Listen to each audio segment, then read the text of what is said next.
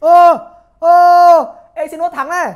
Exynos thắng Shadow Fire này. Ôi Snapdragon ơi. Snap được ra con Con dòng Snap Ôi rồi ôi 5G ơi.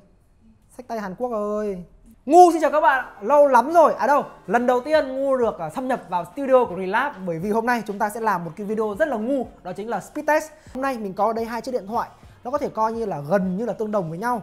Đó là S20 Plus và S20 Plus Nhưng mà bên này là bản S20 Plus 5G chạy chip Snapdragon 865 Còn ở đây thì là Galaxy S20 Plus, nhưng mà là bản Việt Nam, chạy Exynos 990 Vậy thì hôm nay hãy để mình làm một bài speed test nhỏ nhỏ cho anh em để xem rằng là hai cái chiếc máy này, Exynos nó có thực sự là yếu hơn hẳn Snapdragon hay không? Hay là chúng ta có nên bỏ ra những cái chính sách bảo hành các thứ của hàng chính hãng để mua một cái chiếc máy sách tay để có con chip Snapdragon 865 hay không? Đầu tiên, mình sẽ đi vào một số những cái bài à, benchmark. Thực ra là mình đã chấm điểm rồi thì mình sẽ show cho anh em luôn. Antutu benchmark. Đấy, anh em nhìn phát điểm thấy ngay. 865 điểm nó có gì đấy nó xịn hơn hẳn. Thực ra là cái điểm của con Exynos 990 là nó hơi thấp so với mình dự kiến.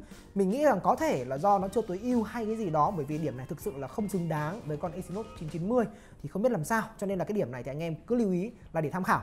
Và cái điểm CPU thì ngang nhau này, Còn GPU thì vẫn luôn là thế mạnh của Snapdragon rồi 211.000 bên này có 155.000 thôi. Cứ bật lên nhá, để cho nó có đa nhiệm nhá. 3D mát này điểm của con 865 thì ở phần này cũng cao hơn khá là nhiều. Mình thấy rằng cao hơn khoảng gần 30% không hiểu sao. Mà 2000 so với 5000 là bao nhiêu nhỉ? Đấy thì anh em cứ nhìn để tham khảo. Cái này thì là cùng UFS 3.0 cho nên là không khác biệt gì nhiều rồi. Có hơn nhau có 100 thôi. Cái này có thể là do máy lúc đấy đang lưu nhiều thứ quá đấy, gì đấy chẳng hạn. Đấy, Geekbench này, đây là cái bài test, đây là cái bài benchmark mà mình tin nhất. Thì lại cũng một lần nữa mình không hiểu tại sao Exynos 990 bị có một nửa điểm single core so với 865 Khó hiểu vãi 457 nhân 2 là khoảng ờ, 914 à. Đấy, con này là 898 này. Chả hiểu sao, bên này thì kém khoảng ờ, 20% 400 điểm. Rồi, bây giờ bắt đầu đi lấy phần test game nhá. Temple Run.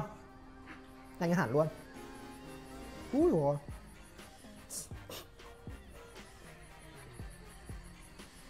Nào, cái chữ start nào?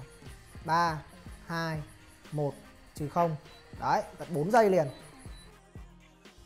PUBG Mobile. PUBG Mobile này thì mình đều đã đăng nhập vào cái tài khoản game của mình rồi. Không có gì khác biệt về các thứ đâu, anh em yên tâm. Lại hơn này. Thực ra là hơn cũng không quá nhiều đâu Khoảng uh, lúc nãy là 4 giây, bây giờ cũng khoảng 4 giây gì đó. Rồi, anh em đều thấy, quên mất đó, chơi PUBG Mobile thì mình nhớ Anh em đều thấy là mình đang uh, tắt hết tất cả các kết nối rồi Chỉ bật một cái wifi để test game thôi Không làm phiền, bật lên. Bên này thì mình quên chưa bật không làm phiền đấy Ờ, à, 50% độ sáng 50% độ sáng nhé tất cả mọi thứ đều tương đồng. Tiếp tục đến cái bài game tiếp theo đó là liên quân mobile. Rồi một hai ô! Oh. lần này với uh, liên quân mobile thì có vẻ như là con Snapdragon nó không hơn con Exynos nhiều. Tất nhiên là vẫn có một cái gì đấy hơn đây. Shadow Fight.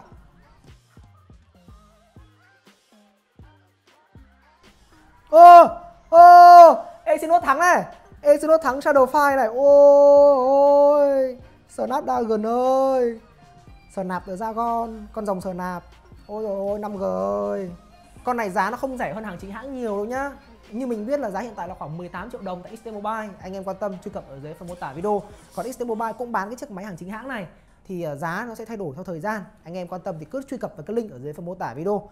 Nhưng mà đây cũng chỉ là một bài game Shadow File không biết là các cái game khác như thế nào. Đâu rồi nhỉ? Food Ninja.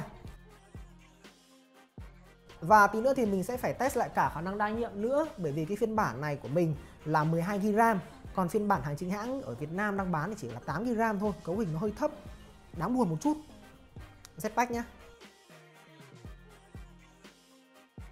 Cái game Anto này có vẻ là không nặng lắm hoặc là không ảnh hưởng không bị chịu ảnh hưởng quá nhiều bởi con chip bởi GPU cho nên là vào game như nhau bởi vì anh em thấy đấy là cái điểm CPU trong các bài test của hai chiếc máy này ở Antutu là uh, tương đối là bằng nhau chỉ khác điểm ở GPU thôi.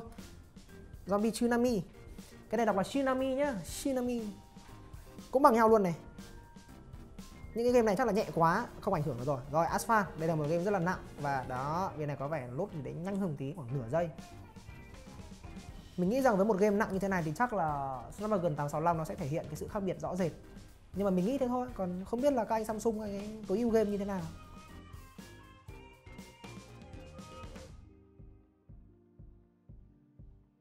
Đấy mình chọn tuổi xong trước các thứ hết rồi bên này bắt lốt lên này. Hay thật. Rồi xong Asphalt 9 uh, Facebook sao bên này lắm tí ấy nhỉ? Mình sẽ để nó lốt một cái gì đấy đi. Anh em có thể thấy là hàng chính hãng này với cái phiên bản Facebook này hình như là nó không tối ưu lắm. Con này lúc nãy mình cũng gặp tình, tình trạng tương tự có thể là nó vừa mới update à? Không biết rồi đoạn này. Tua đi.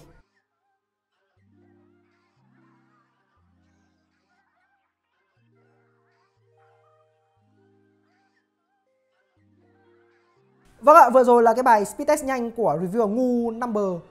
36, number 3 thì mình đã có một cái kết luận nhanh với các bạn là con chip Snapdragon 865 nó có một cái gì đó nhanh, nó mạnh hơn. À, tuy nhiên cái sự khác biệt là không nhiều, chỉ có một số tựa game thì căng lắm là cái khác biệt nó lên đến khoảng 3 đến 4 giây mở app thôi. Và đôi khi là với Exynos nó lại mở nhanh hơn cơ. Chứng tỏ đây là một cái mặt để tối ưu phần mềm phần cứng gì đó thôi chứ chưa hẳn là cái sức mạnh của con chip này nó như thế nào. Và tiếp theo sẽ là bài test về đa nhiệm 12 GB RAM và 8 GB RAM với tất cả những cái app này 4 x 5 là 20 app mở đây. Liệu rằng 8 GB RAM có hụt hơi hay không? Hay là thực sự chúng ta chỉ cần 8 GB RAM là đủ rồi? Thì đây Antutu. Uh, hình như cái này luôn luôn phải lốt lại. Thôi không tính. Bỏ qua. Ờ, uh, Penwatch 3D hình như cái này phải lốt lại rồi không rõ nữa. 3D Max đấy có vẻ gì đó phải lốt lại rồi. Android đây.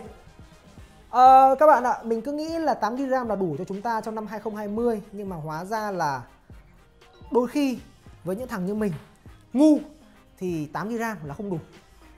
Ngu thì phải mấy chục GB RAM hoặc mấy chục cái bánh mì mới đủ cơ. Đây Geekbench bị lốt lại này. Lốt lâu quá. Lỗi à? Thôi bỏ qua. Temple Run. Đây, lốt lại tiếp này. Đây, bắt đầu lốt lại hết sạch rồi các bạn ạ. PUBG Mobile cũng bị lốt rồi. Mình sẽ thử mở một loạt thêm thế nào nhé tại vì là với những cái game như thế này thì đáng lẽ là phải được ưu tiên ấy, là không nên lốt lại.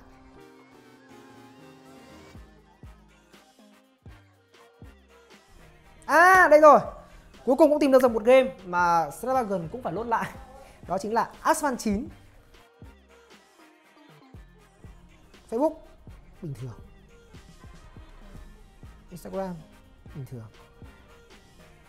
Temple Run. Đấy Asphalt cũng đã lốt lại nhưng mà Temple Run 2 thì vẫn là lưu mà Và cuối cùng là Messenger nốt lại nốt này rồi, sau cái bài test rất là nhanh vừa rồi, speed test của reviewer ngu số 3 thì mình đã có làm rõ cho anh em hai điều. Thứ nhất, 865 nó không hơn Exynos 990 nhiều ở mặt mở app. Thậm chí có hai app mình thấy rằng Exynos 990 mở nhanh hơn và kể cả khi mà 865 nó mở nhanh hơn ấy, thì nó cũng chỉ mở nhanh hơn khoảng 3 đến 4 giây là cùng thôi. Và cái thứ hai, trong năm 2020 này thì thực sự cái con số giữa 8GB và 12GB có quan trọng. Với 20 app mình có dùng ở đây thì trên Exynos chúng ta đã phải lốt lại gần hết. Còn với 865 thì chúng ta chỉ phải lốt lại một app duy nhất, đó là Asphalt 9 thôi. Còn cái thứ mà mình rút ra trong video này, đấy là anh em có tiền, cứ mua máy nào, càng nhiều RAM càng tốt. 12GB Android vẫn chưa đủ nhá, nhất là với những thằng ngu như mình rồi anh em đừng quên để lại một like, một subscribe. Và cũng đừng quên làm chiếc máy 12GB RAM mà chưa hề lướt lại app nào này, đang bán tại XT Mobile với mức giá khoảng 18 triệu đồng. Sắp tới có thể là giá còn giảm nữa, thì anh em cứ click vào link ở dưới phần mô tả video. Bởi vì là mình là ngu cho nên là mình cũng không biết là khi nào cái video này được lên cơ. Tại vì Vinlab thì không cho ngu lên video. Hôm nay thì mình cứ trốn vào đây mình quay thôi.